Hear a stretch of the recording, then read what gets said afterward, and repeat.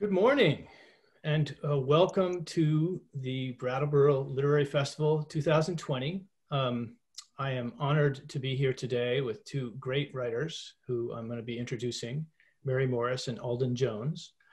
And um, before we get started, uh, just want to say that those of you who are attending, um, you have the Q&A function. And this is uh, such an interesting duo that I really hope that you will uh, write your questions in the Q&A chat function that you'll see at the bottom of your screen. And then we'll come back with about 10 minutes left in the program to, to ask some of these questions. So anyway, uh, let me go straight to the introductions. Um, uh, Mary Morris is the author of numerous works of fiction, including the novels The Jazz Palace, A Mother's Love, and House Arrest. She is also the author of nonfiction books, including the travel memoir classic, Nothing to Declare Memoirs of a Woman Traveling Alone, and her new book, which she'll be talking about today, All the Way to the Tigers. Uh, Mary is the recipient of the Rome Prize in Literature and the 2016 Anisfield Wolf Award for Fiction. And she lives in Brooklyn, uh, and just a, a, quick quote from O, o Oprah Magazine picked th this book up and, and said uh, about All the Way to the Tigers this lush story tells the tale of a single woman on the road looking for redemption and healing. Expect the unexpected in her rich philosophies, inner discoveries, and self realizations on the road. And our, our other panelist today is Alden Jones, uh, her first book, The Blind Masseuse, a, traveler, a traveler's memoir from Costa Rica to Cambodia, was named a top 10 travel book by Publishers Weekly and the Huffington Post, uh, won the Independent Publishers Book Award in travel essays, and was longlisted for the PEN Diamonstein Spielvogel Award. Alden's story collection, Unaccompanied Minors won the New American Fiction Prize, the Lascaux Book Prize, and an Independent Publisher Book Award in Short Fiction, and was a finalist for the Edmund White Award in Debut Fiction and the Lambda Literary Award. Alden teaches creative writing and cultural studies at Emerson in Boston and is a core uh, faculty member of the Newport MFA um, at Salve Regina University. Her critical memoir, The Wanting Was a Wilderness, was published in May of 2020 it is a special honor for me to be introducing Alden, who is a colleague of mine in the Newport MFA and also a very good friend. So uh, you are very lucky to have these two writers with you, and I am going to bow out and don't forget to ask your questions, and we will see you later. Thank you, Tim. Thanks, Tim. Thank you. So I, I was told we were supposed to flash our books before, so Mary doesn't have hers, and so I'm flashing both of them. You can see mine is much smaller than Mary's. uh, this is well. uh, The Wanting Was a Wilderness, my new book, and Mary's new book, All the Way to the Tigers. And I hope you don't mind if I start, Mary, by just saying um, when I was looking at what people had written about All the Way to the Tigers, someone had, someone in a review had written, um, you know, this is a, you know, a brilliant memoir of a woman traveling in the tradition of Cheryl Strayed, who's obviously very dear to my heart because this is a book about, um, you know, essentially started as a book about Wild um, and Elizabeth Gilbert.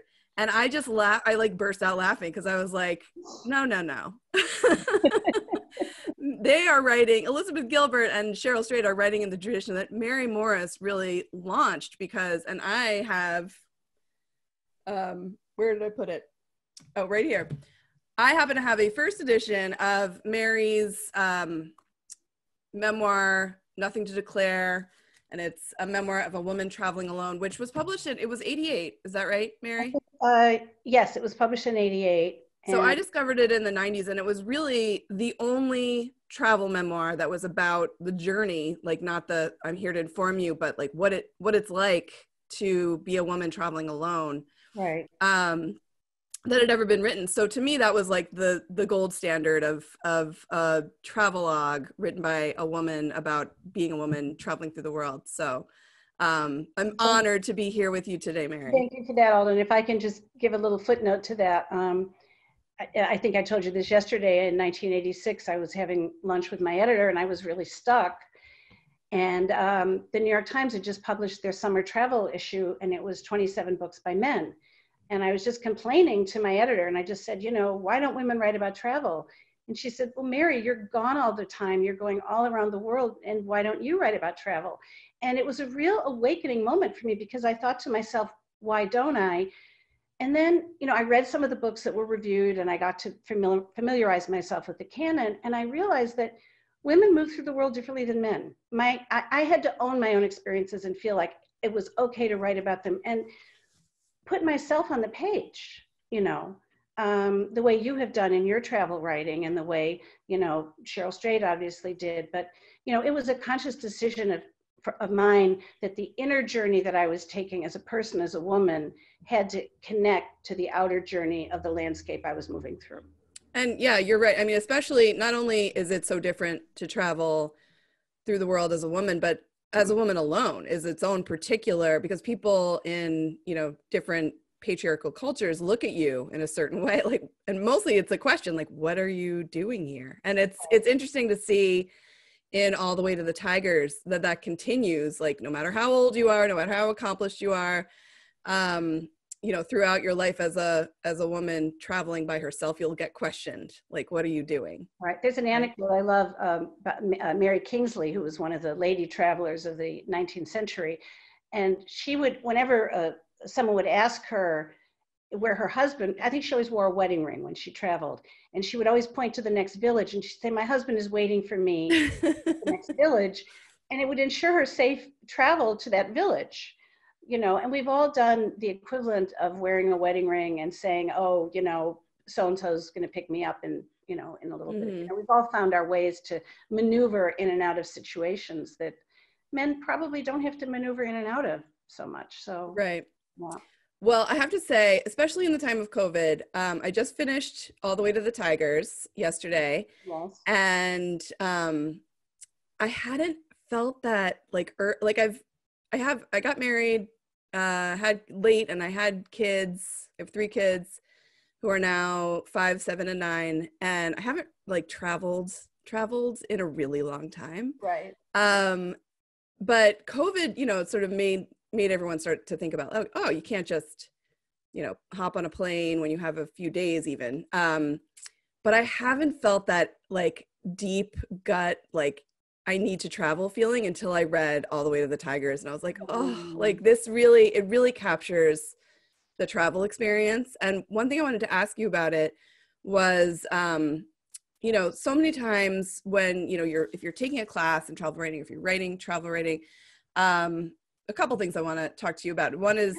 chronology, like how you choose, because All the Way to the Tigers is not told in chronological order. It's got like, um, three separate timelines and you you move right. back and forth between childhood um, going to find the tiger um, in 2011 and then a ice skating accident that got even worse and um, made it you know impossible for you to walk in right before that in 2008 right. Um, so how do we choose the chronology but also how do we choose the you know what we leave in to the story and what we leave out because I tend to think like, oh, leave out the details about getting the visa and just plop you in the middle of the adventure.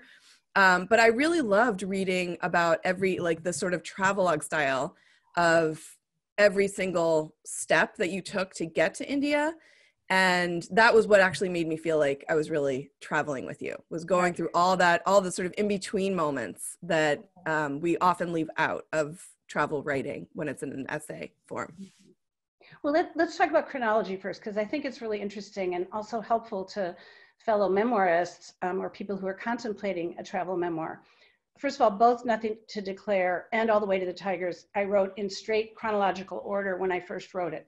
So All the Way to the Tigers actually began with my accident um, and then went through four separate journeys that I took and India was the last one, and it was 420 pages long, and it just didn't work, you know.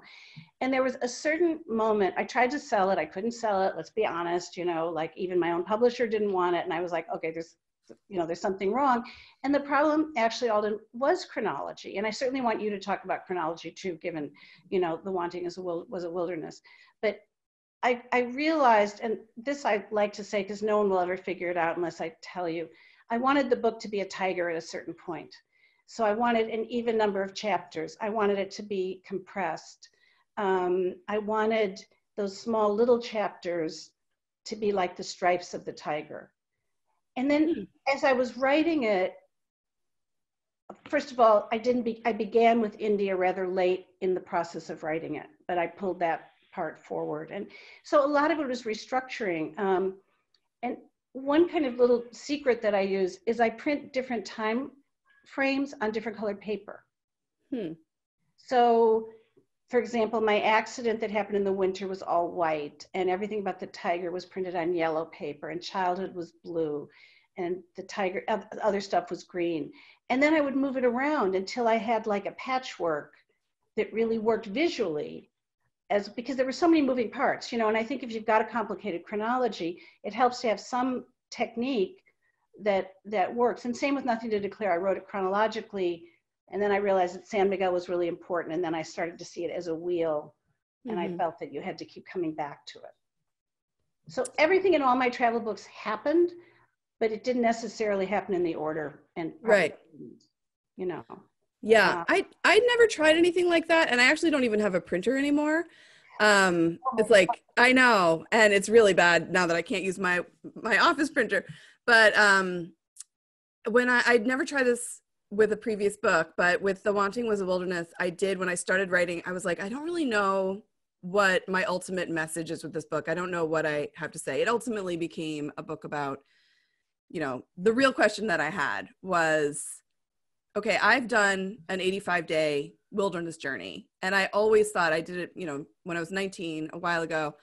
And I always thought that it would be too difficult to transform into memoir because how can you make someone care about hiking, which is like walking, stepping, you know, one foot in front of the other?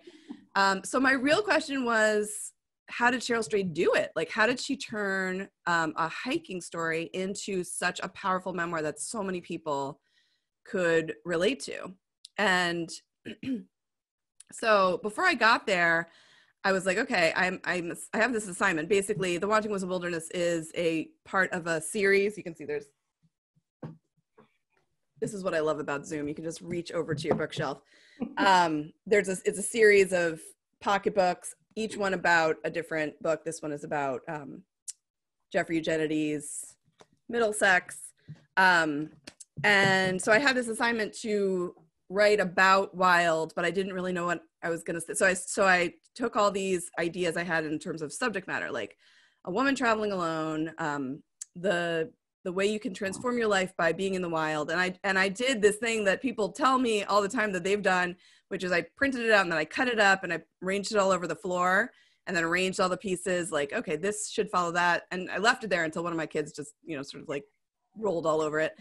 Um, but uh, it was very helpful. I, and it still didn't help me figure out what my book was about though. So I had to write that part. And so I wrote the first half and then I stepped away from the book for a really long time and um, figured it out. And only in knowing where it was going to end or about where it was going to end did it help me figure out the structure. So chronology, I don't know, like, um, In terms of your, your second question though, about what to leave in and what to take what's out. it, right. At what point did you decide to put in your own personal crisis? Um, you know, there are things that you layer in there quite beautifully that I I had the feeling you didn't set out to to be writing about that necessarily, but I may be totally wrong about that. No, I no, you're right, and I'd love to hear what you have to say about that as well. Because I think with any when you're writing a memoir, you know certain episodes that you're going to include, Mhm. and then you get to the writing writing of it, and you're like, oh, I really don't want to talk about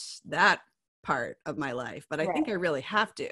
Mhm. Um, like in order to explain why I left college abruptly and like spent 85 days in the wilderness, I had to explain what I was going through before that. And in order to understand what I was going through right before that, I had to back up to like high school.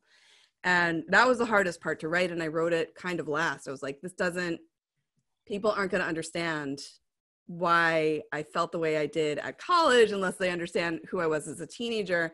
And I think that's that's kind of what happened with Cheryl Strayed. She thought she was just going to write about a hike, but then she realized the real story was about losing her mother and falling apart, Right. and that the hike was sort of the aftermath of that.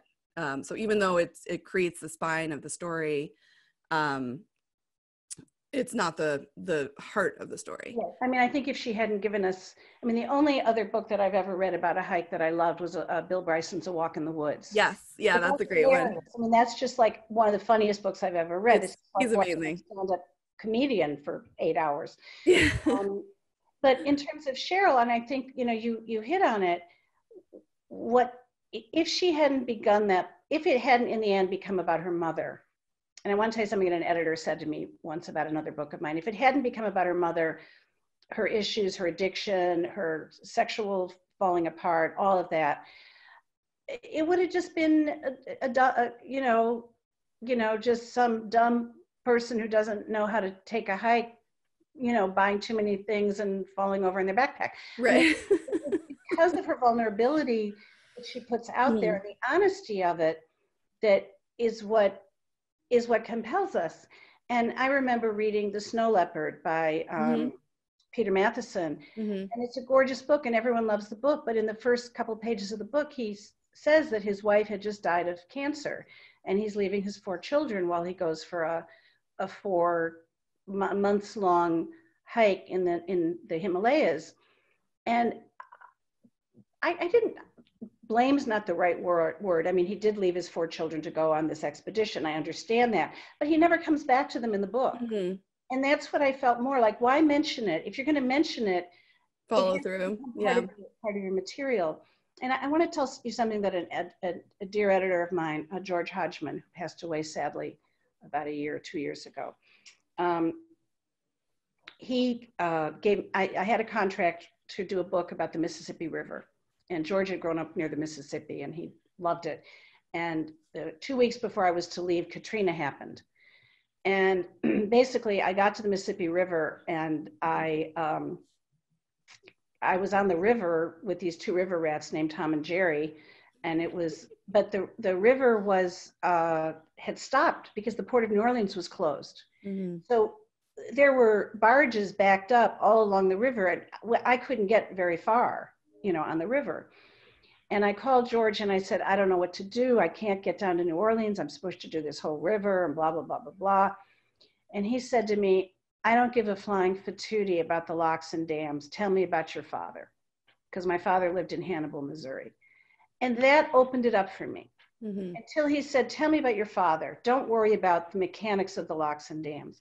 And I think that's what we're talking about is that, you know, how much of our, you know, I mean, we're women, we're, we're travel writers.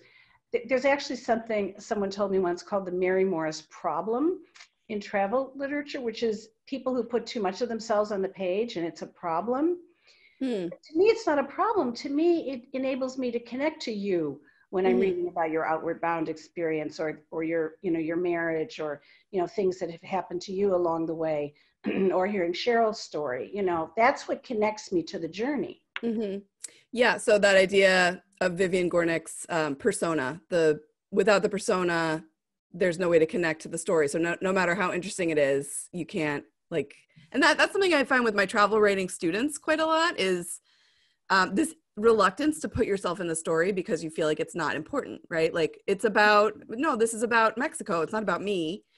Um, but without having the the character to connect to, like a constructed character to connect to, then we're not going to care about Mexico, right? So, um, but I think that comes that comes back to the question of what we put in and what we leave out. It's it's really about the balance. If it's a travel if it's a travel work, you want it to be about something specific about travel. So it's not you know like it's not your life story, it's not your family story. It's something personal that connects you to the place, so that you can illuminate the reader on something about the place through who you are. right and we don't write about every place we go to. I mean i don't set out going oh i'm going to write this book about tigers or i'm going to you know I, I rarely do that actually. Um, i the only actually the only case was the mississippi river where i did have a contract. But i think you know to, to me you have to fall in love with the journey and it has to speak to you. And in some cases as for you with outward bound or cheryl with oh, a walk in the woods and even with nothing to declare sometimes years go by before we mine that material Mm-hmm. you know i don't think we take experience and translate it you know we're not journalists in that sense Right. Well, Yes, it definitely. I couldn't. the The Wanting Was a Wilderness was a really interesting study in writing close to an event versus far away from it because I had gone on um, this Outward Bound course when I was 19, and it was you know I'd taken so many notes. I'd written like 200 pages in my journal while I was you know on this really intense um, physical experience, and it was the the the thing when people ask me like what the hardest thing was I was like, uh, try being with 13 other people for 85 days with no escape. Like you all you can do to separate yourself is like go to the bathroom. That is the only time you have any privacy. And um, you know, no cell phones, no no way to communicate with people other than your so that was the challenge for me was this really intense group dynamic and there was so much drama and it was so interesting to me at the time and afterwards and i i did write about it kind of soon after in fiction. In my in my collection of stories unaccompanied minors the last story is um, sort of a fictionalized version of what we what we did and how like some of the uh, drama that was happening but um, i was very uncharitable to us like i was really mining us like for our all of our flaws and exaggerating them and um, not showing any of the stuff that I was proud of or the way that we loved each other or you know the the triumphs and the you know the good feelings because it felt like it would be too cheesy to try to do that right. um, especially in nonfiction so right. I held on to it for a really long time and when this project came to me from Fiction Advocate I was like okay it's time. It's time for me to to figure this out. But at the same time i you know i wrote a bunch of stuff about my outward bound trip and uh, about wild and then i suddenly my marriage ended out of nowhere what it felt like to me out of nowhere. And i had to put the book down for a couple years so i could like deal with my life. But then when I, I was thinking about it that whole time and when i came back to it i it was a totally different book. So even just that two year period turned my understanding of my the significance of my 85 days in the wilderness into something completely different.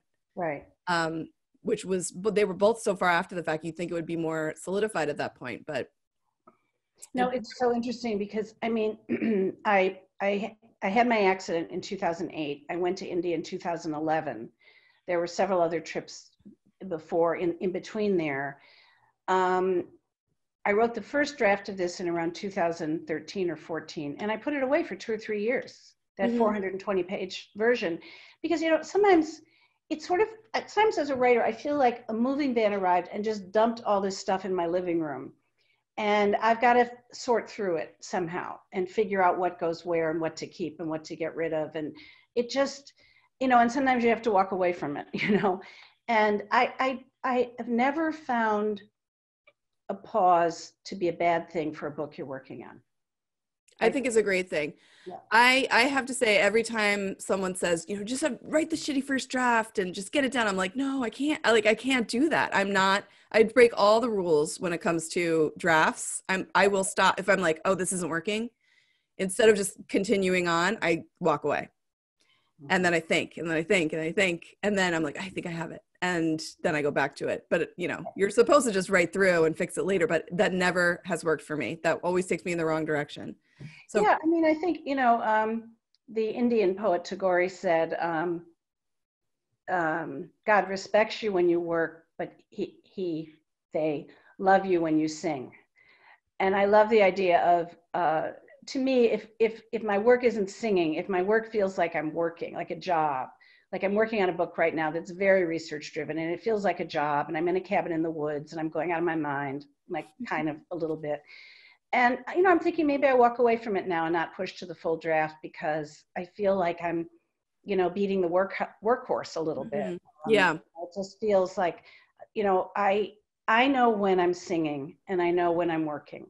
That's and very I, reassuring to hear mary because i always feel like i'm doing it wrong. I should like muscle through but i know that i just don't work that way sometimes you just have to put it away and you know trust the process mm-hmm. um and come back to it with fresh eyes. You know, I, I, I try to come back to something as if I hadn't written it, you know, as if someone sent it to me and said, you know, what do you think of this? Right. And, and it's much easier to do that once you've had a few days away from it. So, yeah, or months.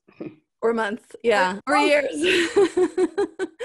Um, so, all the way to the Tigers, was it became to, I don't want to do any spoilers, but it, it became um you know I did I didn't see the way that now that you explain the way that the chapters were organized I, I hadn't caught on to that like that was the sort of construction of the the tiger but it did seem like the book's narrative was mimicking a tiger's behavior in the kind of slow like it's not about the or even looking for a tiger. You like you might not see one but it's something about the journey mm-hmm. without the the resolution you know without the it wasn't about like seeing the tiger. It was about the experience of looking for the tiger.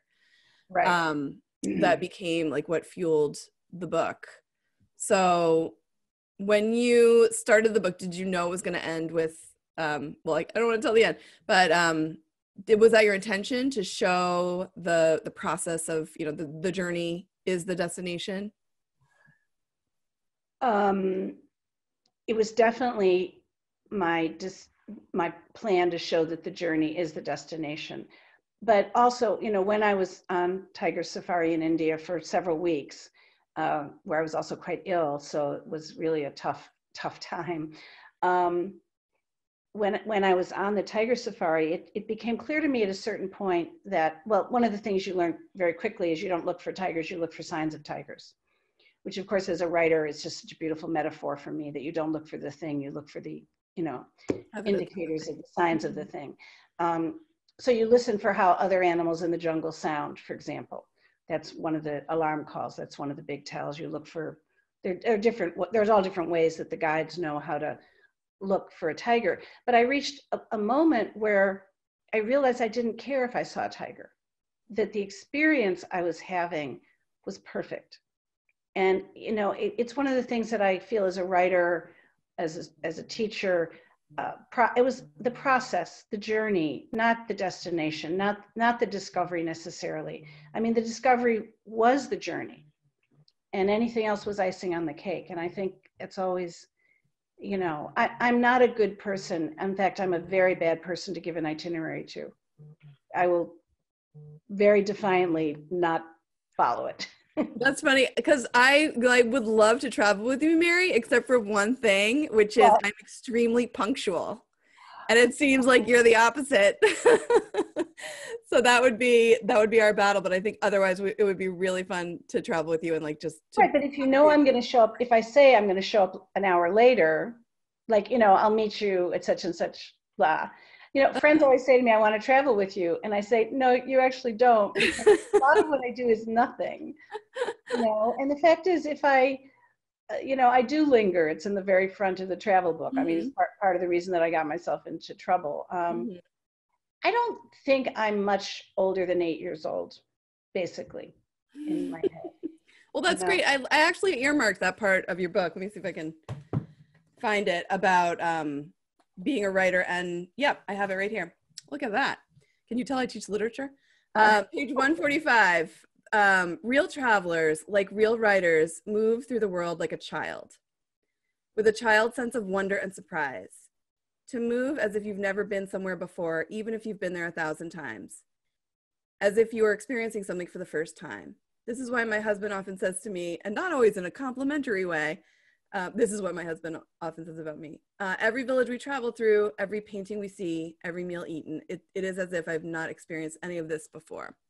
So yeah, that really struck me as um, something really true about both writing and, and traveling. Like, um, first of all, if you have an agenda, you're not going to experience what you experience. It is that sense of wonder and discovery that makes the journey the destination um, being right. If you're, if you're looking for something else, you won't see the thing that probably you should see. You know what I mean? Like it, or not even should see. I mean, uh, yeah, uh, exactly what what you said. I'm just I'm just trying to figure out how you landed exactly on that page at that moment. I just I just earmarked it. A little weird actually about our connection right now. I don't even have a book with me, so that was pretty good. Oh, good. good transition. um, totally shifting gears. I just have to mention that this it could not have been more weird to you that the Tiger King came out right before this book, and everyone started thinking about tigers right it, as this book was about to come out. No, it was crazy, and you know, friends started texting me and saying, "Do you know about the Tiger King? Do you know about the Tiger King?" And I'm like, you know, so I started watching, and I was like, "What the is? What is this? This guy, this crazy. is crazy." Um, but I like to think of myself as the Tiger Queen. kind of, actually, my daughter said the best thing that has happened in 2020 is that I was in an article in the Wall Street Journal with Joe Exotic. They like wrote oh, about funny. us together. Well, I have to say, like.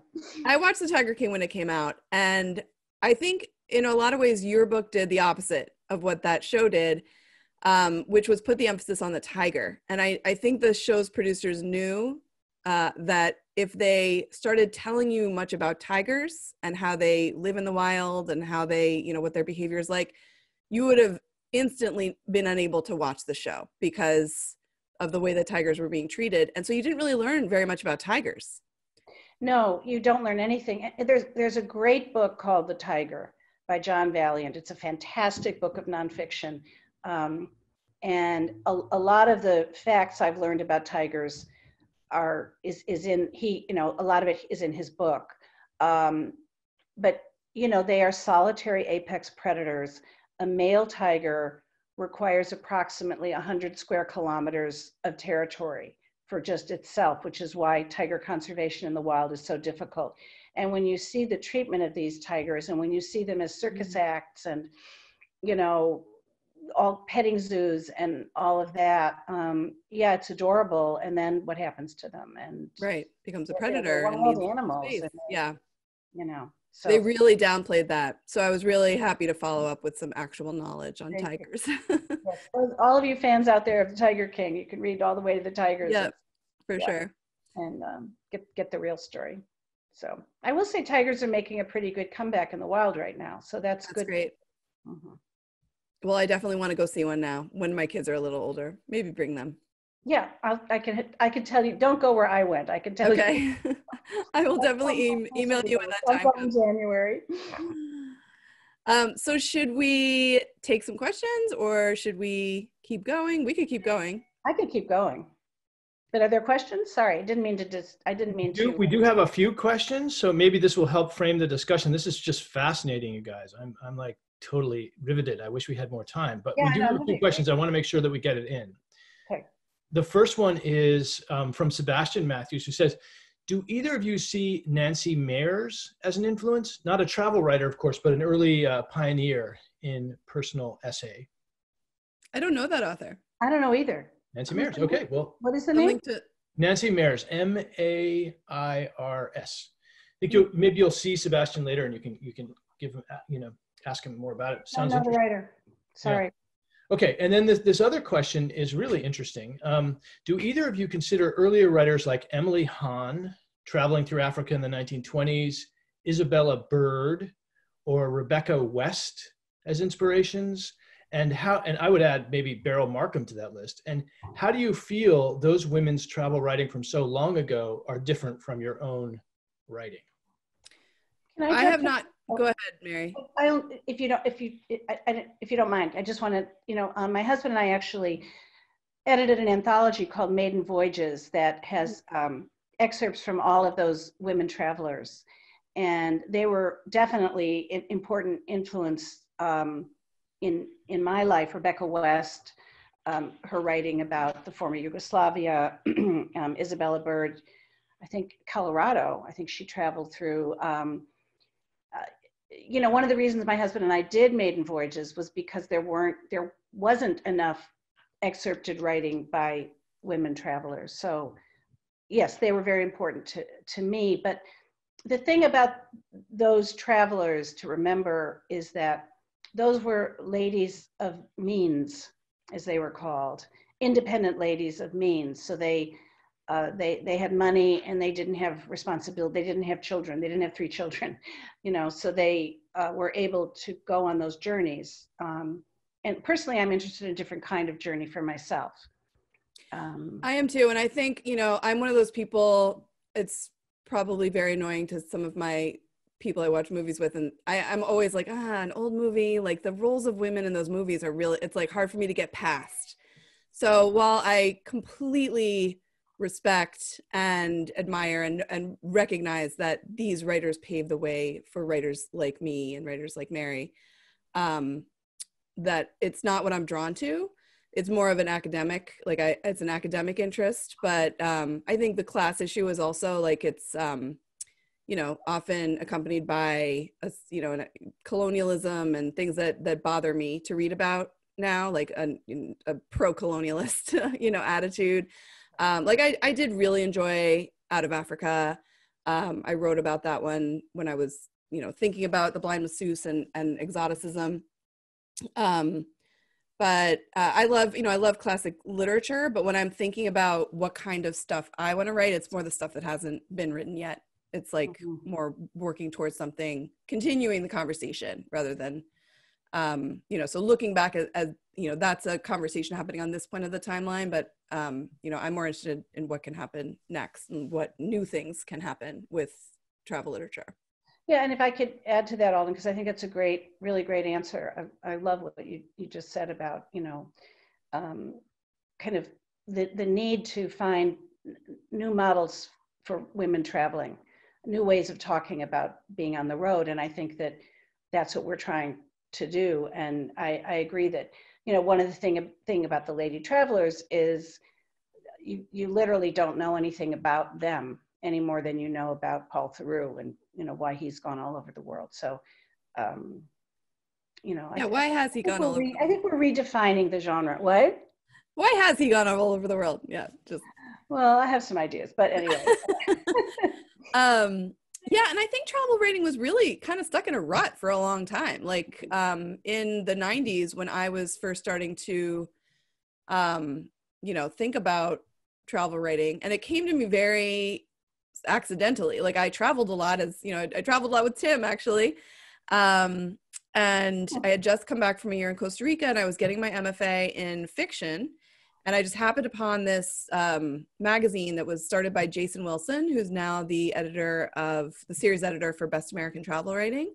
And I was, you know, I was the person at NYU who opened the mail, and I opened the mail and um, at the writing department, and there was this magazine, and it was the Grand Tour, the magazine of fine travel writing, and I was like, oh, I I could write fine travel writing, I think. so I like sat down and wrote an essay about living on a coffee farm in Costa Rica where my family, my host family was evangelical and had just converted and were like really uh, rule followers about um, what their church said. And one of the things was you can't drink coffee. And I was like, wait a minute, like that's kind of one of the reasons I was drawn to Costa Rica was the coffee, you know, and I'm living on a coffee farm with no coffee and that um, that wound up being much more successful than any of my fictional attempts had been to you know get published. It wound up in Best American Travel Writing. That's how I met uh, Jason. But um, at the time, so I was like, oh, maybe I'm to try this genre. And there was really very little. There was Mary Morris, Nothing to Declare, there was, you know, actually Tim was the one who recommended Bill Bryson to me. And I remember being on the subway in New York and just laughing to the point where people were like moving away from me because I was like laughing so hard from this. Um, but otherwise, it just felt like, like you just said, Mary, like we didn't learn anything about the people in the books. Like for the most part, it was like, I just felt this dry intellectual distance from most of what I was reading. Mm-hmm. And I feel like, you know, Eat, Pray, Love gets thrown under the bus a lot, but um, that also really changed the, I mean, that was like a further step in, you know, how can you make the journey about, you know, personal discovery even more so than it is about the places you're visiting. Like, you don't just read this book because you're going to Italy. You read this book because you've gone through a hard time and you want to know like how things might go for you. Right. So so yeah i feel like we we have evolved drastically in the past 15 years with with travel and i think that's because memoir has evolved like memoir has become much less like you have to have something crazy have happened to you or like something really uh, dark or a secret or you know that's how it seemed to be in the 90s um, and now it's like any you can write about anything you can write about you know writing a book, which was kind of what The Wanting Was a Wilderness is. It's a memoir about writing a memoir. Um, but um, it's more about how you make that like that message come clear through a personal experience. Mm-hmm. Um, you know, I, I would like to throw, I, I, is there another question, Tim? Because I want to throw something back at Alden that, I, no, go ahead, throw, throw it back. you know, we, we, we talked a little bit, we both write fiction and we both, you know, we tell stories. Uh, Maybe we should talk for the last few minutes about why memoir? Why, why tell it as memoir? Why not have written these things as, well, you did, obviously, with Flea, right? I think Mhm. that's the, one of the stories where you mind that, and I've certainly mined aspects of this, but, you know, how do we make that decision? What makes that decision happen for us? Yeah, that's a really. How can we do this in five minutes? I love this question. Um, but uh, like we could talk for hours about this. I think I it's know. It's. Um, I mean, I think I tried in this case with with my 85 day um, wilderness thing. It was I had tried it in fiction, and something didn't seem true about it because even when you're writing fiction, you're trying to say something true, Mhm, and that's when I was like, maybe I should try it in a different mhm, genre because I really want to tell the truth this time. mhm.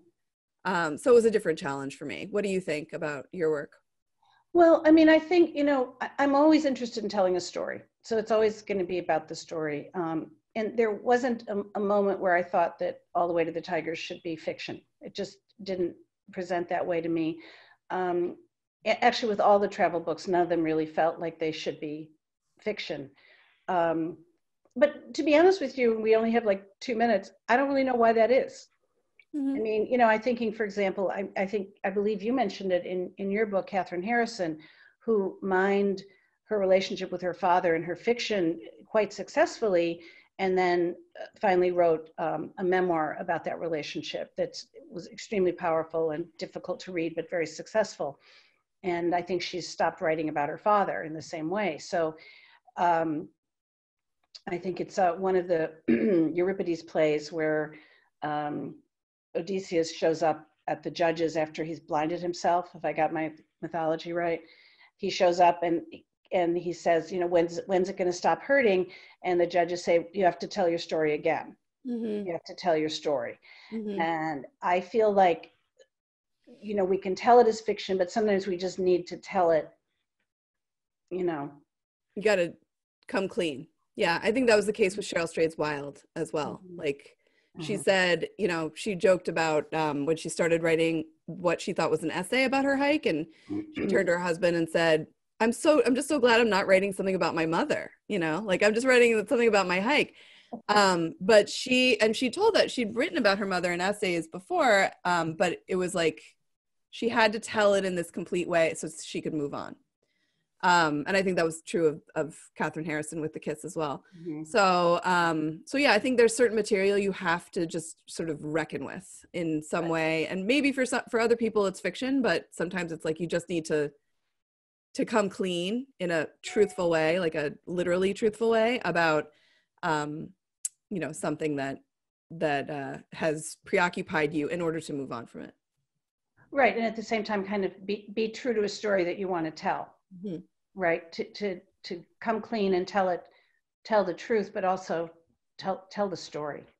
Mm-hmm. Um, so, yeah. Yeah. So tell the truth. That's how we can we can land. Everyone go out and tell the truth.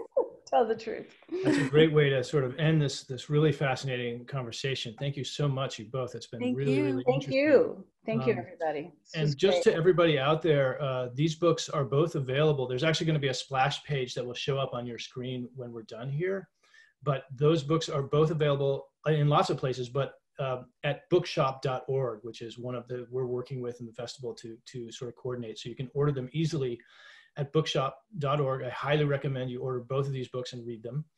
And um, the other thing is, uh, there's also on the splash page a way to donate to the festival. We we love donations. It's important to keep this. This is a really great festival. It's many years in the running, and, and we want to keep it going. So consider that.